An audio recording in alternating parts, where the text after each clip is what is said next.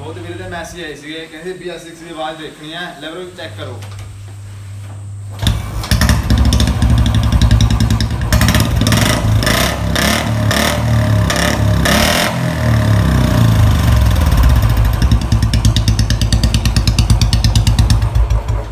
ਇਹਦੇ ਨਹੀਂ ਆਇਆ ਬੈਂਡ ਦਾ ਫਿਲਟਰ ਲੱਗਿਆ ਹੋਇਆ ਸੈਂਸਰ ਲੱਗੇ ਹੋਏ ਨੇ।